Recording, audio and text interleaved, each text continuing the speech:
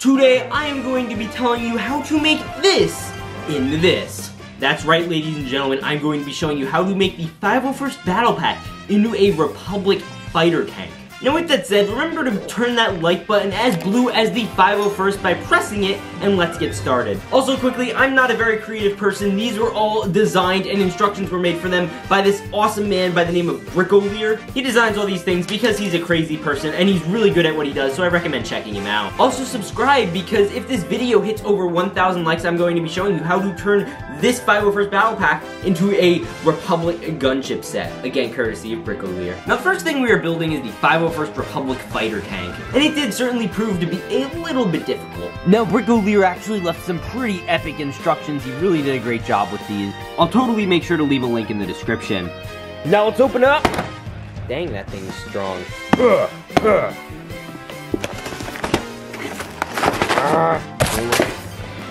We're just gonna dump it all out, and let's get started with it. And like that, I got to work.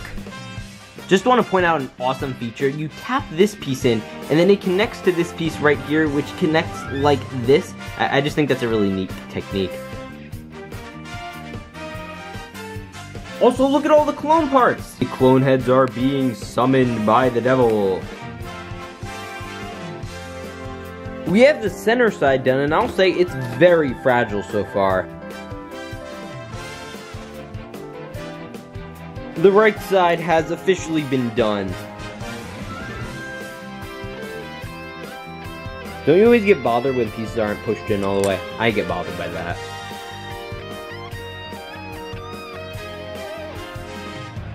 Like that, ladies and gentlemen, we have finished. But then I realized there are so many extra pieces, and then I realized he has instructions for a side build, so let's get into that now.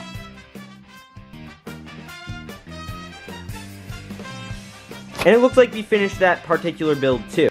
And we don't even have that many extra pieces. It was actually pretty much all used up. Now with that said, let's take a good dive into what this set looks like, as well as the additional second barrier defense thing. Now I would like to remind you all that you get this entire value for under $50, plus four crummy droids. Now that's 8 minifigures, 4 battle droids, basically 12 figures for a $50 value. That's insane. And beyond that, you're getting an entire Republic fighter tank build with this side barricade, with this custom build I made. Now with that said, let's get into it to see if it's worth it to just build your 501st builds, or if it's actually cool to build these custom ones right here.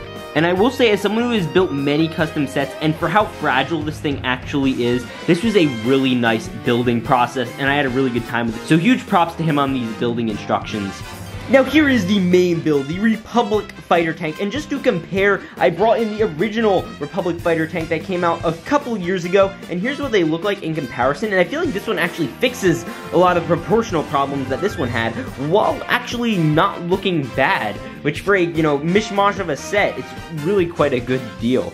Now this set is built into two sections. These are the two side panels and this is the central build. They connect quite simply. All you have to do is connect this piece right here as well as this piece right here and you will notice the blasters are extraordinarily fragile. You can literally tap it like this and it will break off. It is very, very fragile.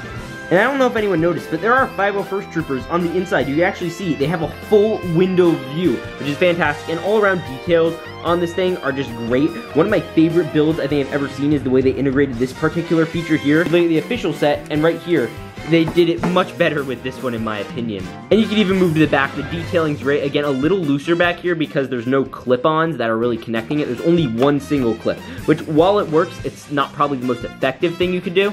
Now here is the main front area. You know, this is what you guys were all excited for, the area where they pop out. Inside, if you want, you could store two, not one, but two 501st Troopers, and you probably squeeze in a third Included here is an entire station. So first off, we will actually move over here, and there's a little bit of a refueling station. Now this comes with some extra little things, I guess if you want to refuel fuel your thing, and by the way, there is that sus Among Us piece. How is anybody going to respect LEGO? When the funniest thing we can do is say that a LEGO piece looks like an Among Us character! There's actually an area to load torpedoes into the set. So if you want to add more torpedoes, all you have to do is grab some off that rack.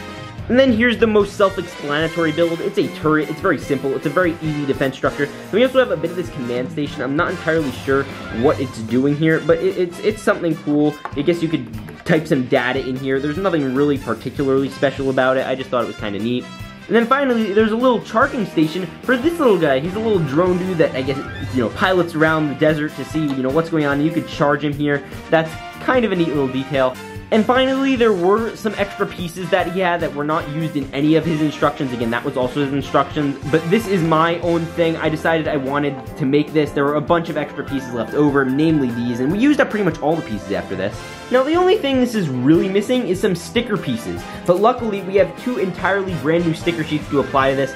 I'm gonna go apply some on here and see how they look, and I'll get back to you once I'm finished. Okay, ladies and gents, so I actually stickered everything up. You see a few uses of stickers on here, but the main event was on the tank, and I am so happy with the way it turned out. You guys can see all of the usage I got out of this. You could probably replicate this on your own version. He didn't recommend this.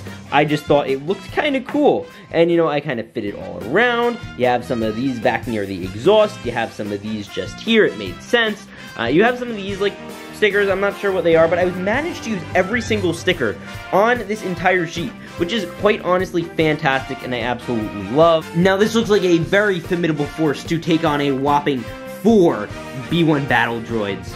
And by the way, you might want to do this sooner than later because we just got news the 501st is retiring in 2022. So if you want to buy one now, I'll leave an affiliate link to Amazon in the description for $24. Again, it helps out the channel a metric ton. So with that said, tell me what you think of the set down below. Are you going to be building it? Because if you do, he has instructions on his video. I will leave a link to that in the description. If you want to make your own of these, again, using only two 501st Battle Pack. And again, stay tuned for another video where we are hopefully going to be turning this into a Republic gunship, and he has tons of other designs. We could even turn this thing into a literal droid army. So tell me what you see down in the comments below. Also, check out these videos. I'll see you on the next one. Remember to peace out and stay awesome.